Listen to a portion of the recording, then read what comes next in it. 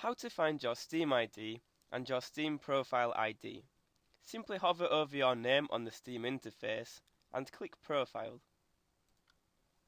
From here, right click anywhere on the page and select Copy Page URL. You then want to go into a web browser and paste it in to the URL box and click Enter. The string of numbers at the top this is your community ID slash profile ID and if you want to find your Steam ID simply copy these numbers or letters or whatever it is and then go to the website steamidconverter.com I will put the link in the description so all you have to do is click it. You then want to paste in your profile ID and click convert and your Steam ID is the first result. I hope this video helped. Be sure to leave a thumbs up and a nice little comment saying thank you if it did. And thank you very much for watching.